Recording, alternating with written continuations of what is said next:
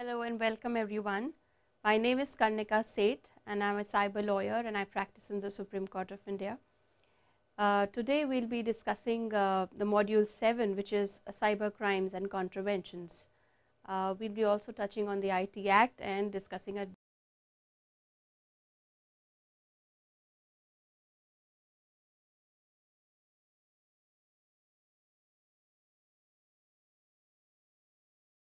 brief overview of how this uh, IT Act is uh, helping in enforcement of cyber laws in India.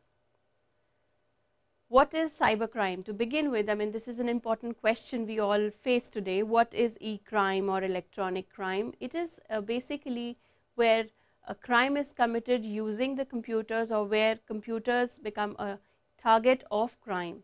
Now, this includes offences which earlier used to be offline, you will have blackmail for instance or uh, even theft. Uh, data theft is today a very rampant problem. Now, these kind of offences which were offline earlier have now become online. So, we will be discussing the various uh, aspects of this law and how these crimes are percolating uh, our society or uh, we are facing these problems today and how the law is, is existing today and how we can combat this problem in the country.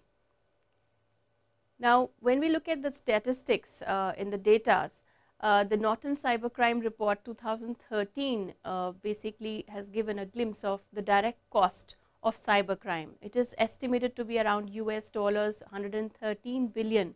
That is the average cost of loss cost to a victim of cybercrime in this year. Now, if you look at the IT Act, let us have a look at the IT Act. When we talk about the chapter 9 in the IT Act, it talks about civil wrongs which are contraventions and cybercrime is covered by chapter 11 of the IT Act.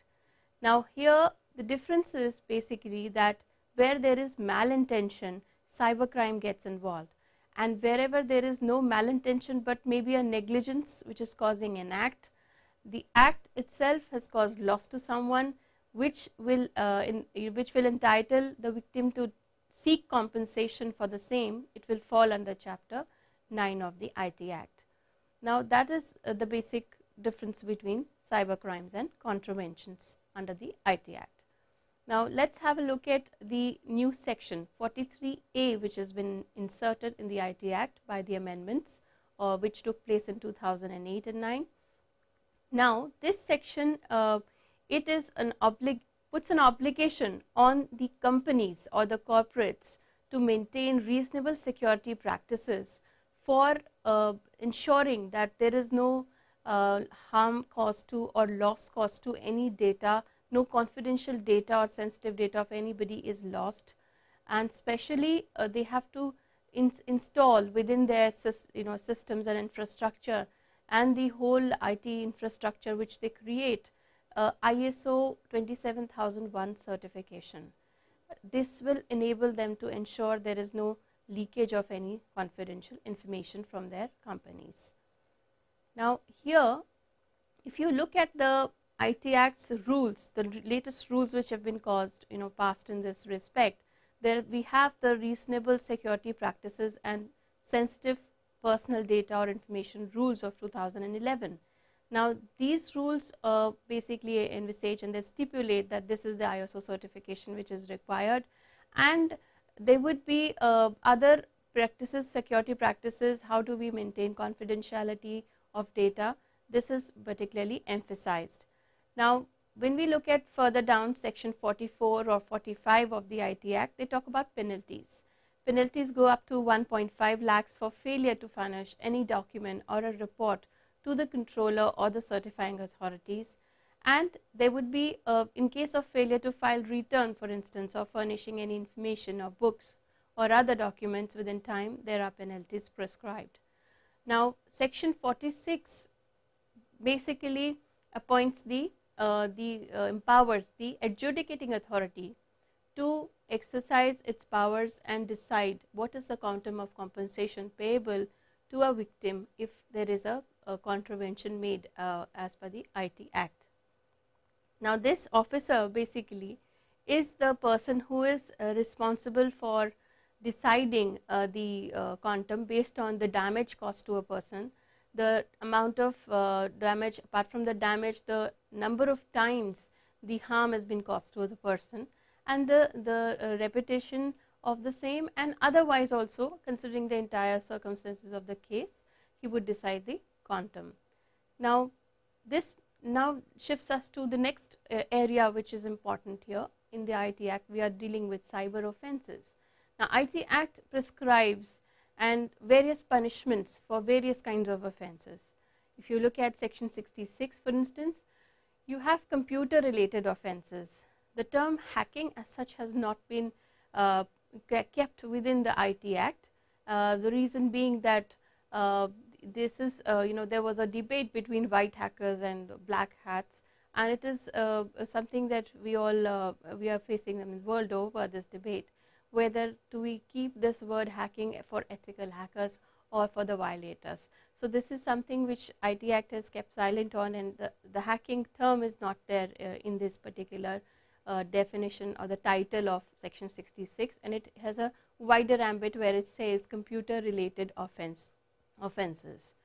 Now, we also have other sections under the IT Act. For instance, we have section 66C dealing with identity theft, uh, 66F dealing with cyber terrorism, then 72 dealing with breach of confidentiality and privacy, 66A particularly talks about hate speech and offensive speech which is menacing to uh, anybody, uh, including spamming and 66 uh, C and D have been talking about cheating by personation, identity theft and such other issues. Then we have section 67, 67A in particular dealing with sexually explicit content or pornography. And 66B we have uh, you know we have dealing with child pornography, uh, 66E for violation of privacy. And 67B uh, in dealing with child pornography 66B is to deal with the uh, stolen uh, computer resources and other uh, you know uh, data, it could also include data and other hardware. Now 70 talks about protected systems, protected systems uh, which are sensitive to the nation and uh, defense. These are all you know dealing or fiddling with them or trying to you know cause any kind of damage in this respect uh, they are all amounting to offences.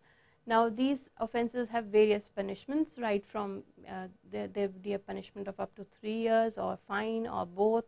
And certain offences have even 5 years or uh, you know uh, extending to 5 years and from 5 years to about 7 years or 10 years also in case of repetitive offences and therefore, uh, these are stringent provisions uh, which deal with or combat cyber crime in the country. Now, this takes us to the position that what is after all uh, the criteria of cognizability or bailability of these offences. Now, when we see cognizability and bailability, we have CRPC to deal with it, but there is a special section which is section 77B of the IT Act which provides that all those offences which are punishable with imprisonment of 3 years and above, they are cognizable. Now, all those offences which are uh, which are punishable with up to 3 years of punishment are bailable. So, therefore, if 67A talks about uh, sexually explicit content or there is cyber terrorism in 66F, now those are non-bailable offences which have punishment of more than 3 years uh, prescribed by the Act. Now, if you see the the new provisions which were you know added under the 2008 and 9 amendments we, we never used to have a special section for say child pornography uh, in the IT Act. Now that is something which has been added later on and I think that makes the act more effective. Now today the debate is whether you know we all know that browsing adult content by an adult may not be an offense, but yes publishing it or transmitting it through an SMS or through videos now that would be an offense under the IT Act. Whereas in the case of child pornography, even browsing, seeking, creating, downloading, storing is an offense. Now, that is a little line of distinction which we all uh, need to understand here. And now, this takes us to section 65 in particular. Here we deal with tampering with computer source code. Now, we all know that there is a binary language computers follow and there is a source code and an object code. Source code is like a DNA of uh, a footprint or a blueprint of a particular uh, you know computer. Now, or program, computer program has a source code. Now, when the source code is hacked or tampered with, now that is something which is punishable under the IT Act. Now, there are many cases uh, which have been reported for ha hacking or tampering with computer source code documents. Now, there have been cases like uh, the uh, there was a case of uh, this Tata uh, you know phones where uh, Reliance and Tata had a dispute and there was it was alleged that the Chinese phones were you know of, of Reliance had a very very strong uh, you know coding which allowed only the Reliance network to function on those uh, cell phones. And uh, in between there was a scheme launched by Tata wherein it was alleged that the Tata was uh, basically trying to uh, take away certain information by tampering the source code and uh, enabling the same handsets to work on Tata's networks. Now this is a reported case and uh, there have been cases uh, like you know involving section 65 of the IT Act wherein certain uh, reverse engineerings have been done where which would amount to say tampering of source code documents. Now therefore, you have to see basically in section 65 whether a source code is really involved or is it a general hacking.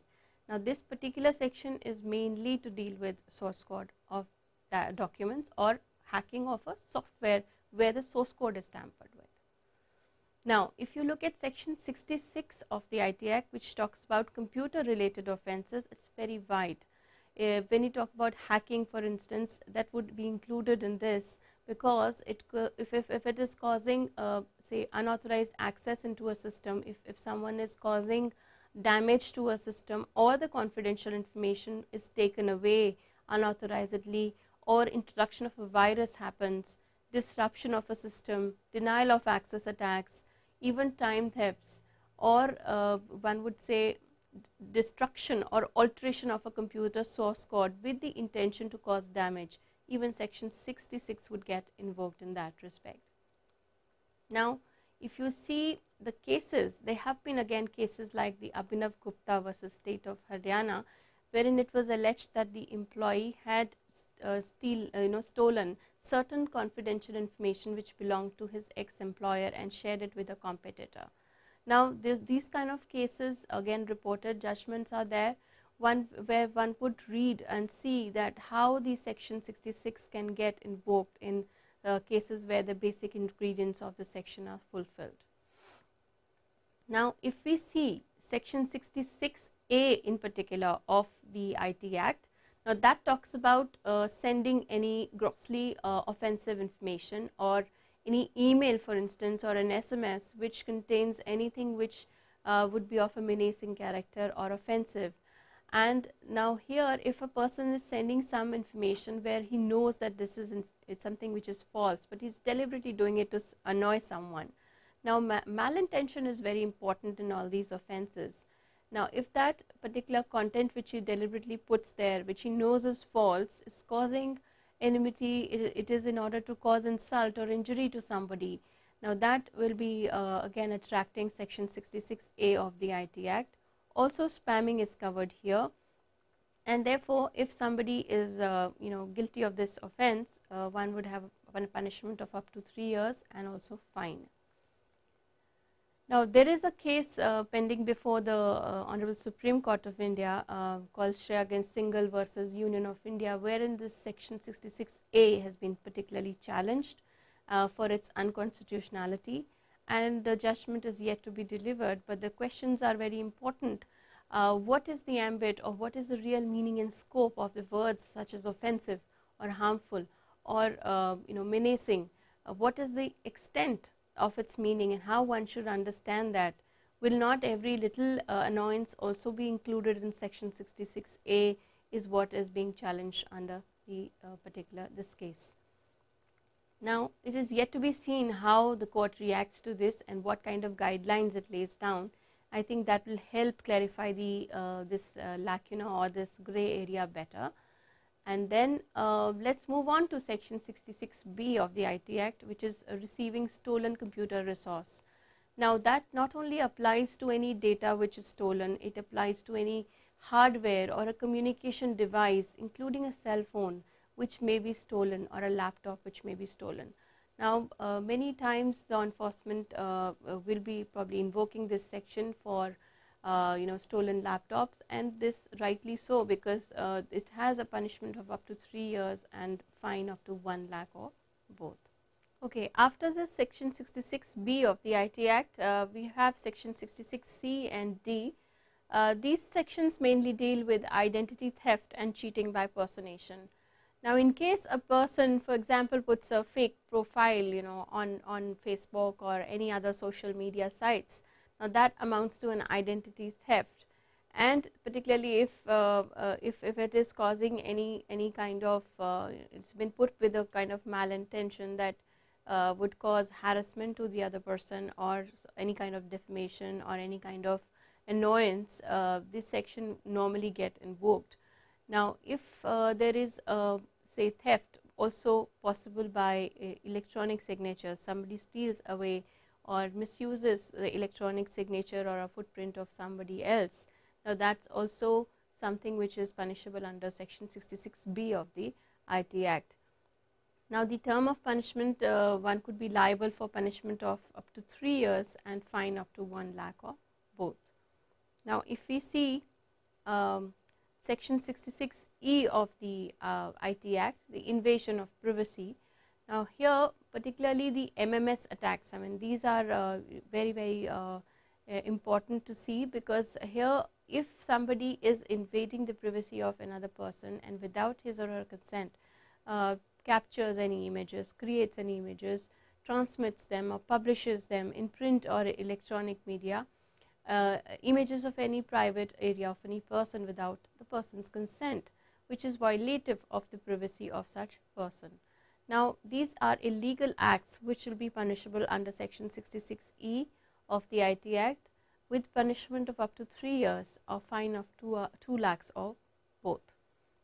Now, here if, um, if there is a hidden webcam for instance uh, installed in anybody's rooms or uh, any kind of CCTV footages without the consent of the person uh, in, in such areas where uh, there is a generally an assumption of uh, privacy is also something which will be covering this section particularly. Here now we will be discussing the section 66F of the IT Act which deals with cyber terrorism. It is a very widely worded uh, section it, which provides punishment of uh, you know which may even extend to imprisonment for life. I think this is the most uh, severe uh, strictest punishment which one sees under the IT Act. If any person here uh, with intention to threaten the national sovereignty, integrity or security of a nation or uh, uh, harm its unity or to strike riots or terror in the people causes any kind of harm uh, including denial of service attacks. Now, that is uh, this section which will get invoked. If any person with this intention will access a computer without permission or exceeds the authority which is given, introduces any virus or contaminant which uh, is likely to cause death or injury to persons or destroys any kind of property which is public property or essential services delivered with the help of uh, IT systems. Now, that uh, would be affecting critically the sensitive systems or the critical information infrastructure of the country. Now, that is something which is an offence again under the IT Act which is uh, section 66F will cover uh, under the umbrella of cyber terrorism. Now, this also includes uh, such situations where a person knowingly or intentionally would access a computer resource without any authority or would exceed the authorization and steal information which is confidential to our nation's security or friendly relations with other states or which is likely to cause any uh, injury or in, you know to or loss to the integrity of the nation or security of the nation or public order as such, the decency or morality of the nation or content uh, relation to contempt of court, defamation or incitement to an offence which would be uh, covered all by the cyber terrorism. It's a very widely uh, worded section that's the reason I said so. But when we look at uh, any kind of disturbing videos for example, uh, videos which will invoke communal or anti-religious sentiments or uh, something which would uh, cause a public riot or something which would hamper the nation's security, that act which when committed through the use of networks or computers or uh, any kind of communication media would also uh, fall under section 66F of the IT Act. Now, this takes us to section 67 which is publishing of any obscene materials on the internet. This section is basically uh, providing punishment uh, whenever there is transmission of uh, any kind of uh, obscene content, anything which is publishing electronically, any kind of content which is harmful uh, in the sense that it is uh, not public for, for the purposes of viewing decent.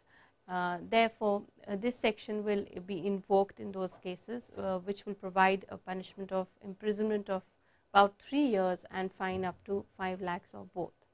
There have been a few uh, cases which particularly have dealt with section 67 and um, there have been many FIRs registered under this particular section where uh, in, in cases of investigation sometimes even forensically uh, some data has been found that an email has originated from one computer to another person's computer by way of an email some obscene material has been sent and such uh, sections will get invoked like 67. Now, the famous uh, case you know the first case which probably has occurred in this uh, particular area has been the Baazee.com case which is the DPS MMS fraud case and uh, a long time ago this was uh, a video clip which contained obscene material uh, which was listed on the Baazee.com site and uh, involving school children and uh, two school children. Uh, now, this had some obscene materials and when the FIR was filed under section 67 of the IT Act, the section 85 also got attracted and section 292 of the IPC. Now, here when a person uh, deliberately puts a commercial commercial video online uh, in order to basically uh, make commercial gains, but it is an obscene video, this would fall under section 67 of the IT Act. Uh, it was uh, uh initially the, the director of Baazee.com was arrested for these offences. However, uh, later on in, when the case uh, was decided in appeal in Aneeta Hada's case, the court took the view that under section 85, in case an offence is committed by a company, the director cannot be made uh, personally liable in case the company itself has not been impleaded as an accused. Section 67A deals with publishing any sexually explicit materials. Now, this would include any kind of videos or clips or, or small uh, uh, recordings uh, which were visual recordings and transmitting them uh, online by SMSs or any kind of messaging services available or emails and uh, this is again punishable with imprisonment up to 5 years of and fine up to 10 lakhs um, in the IT Act. Now, the next section here we have is 67B providing uh, you know uh, for the offense of child pornography this is a, providing punishment for that.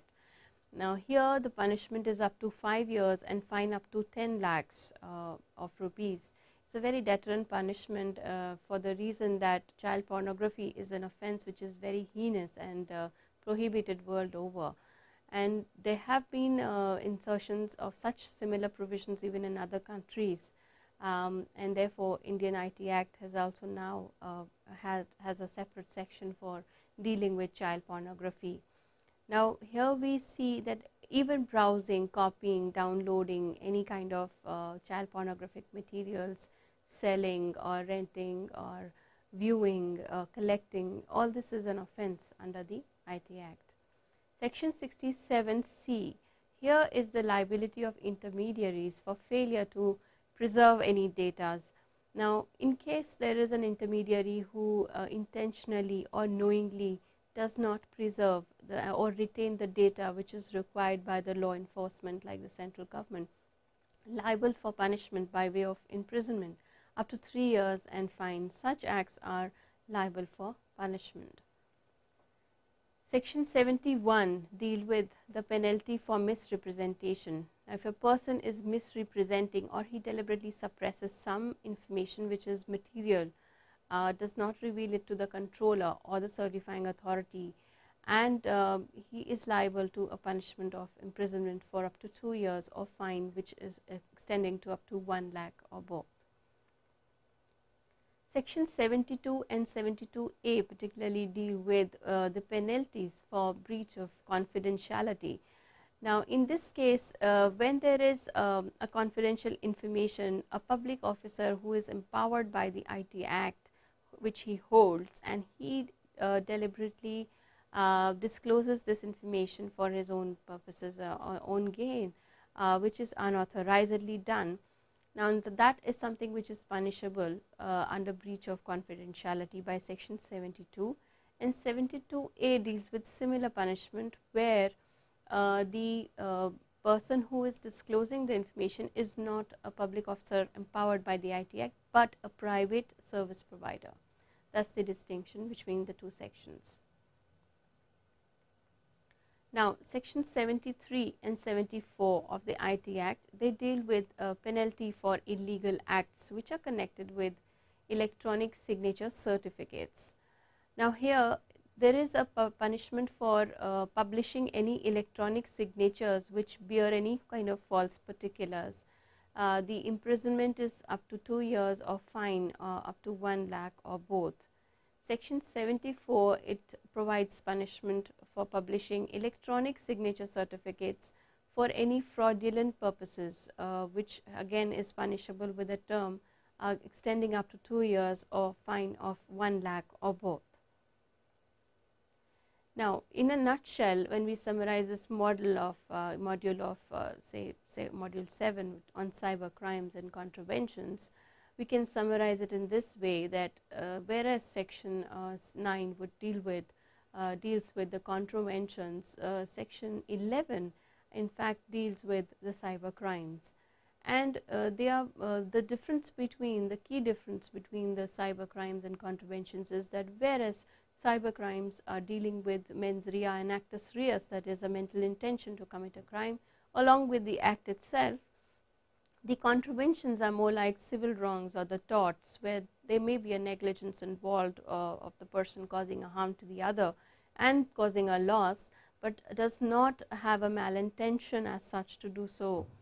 Now, uh, there are different punishments for different offences and for contraventions as well. There are different penalties and new sections were added by the IT Act amendments in 2008 and 9 which have made the IT Act more uh, uh, updated and more abreast to deal with uh, the com or combat the cyber crimes which we are facing today. Uh, I, I, I, would say that the, there are still many amendments required in the Act. However, compared to the earlier version, it does have many sections which uh, would uh, cover most of the new offences which have emerged in this area. Now, they are mostly cognizable, but then uh, the problem is that a lot of them are bailable. Uh, this becomes problematic particularly in cases where the criminal is out on bail and he might try to uh, tamper or damage any data which is digital data and digital data is fragile, it is volatile at times. So, it could be easily damaged and that, that is an apprehension which uh, law enforcement really has. So, in a nutshell, uh, the, the two chapters uh, 9 and 11 basically cover both cyber crimes and contraventions. Thank you.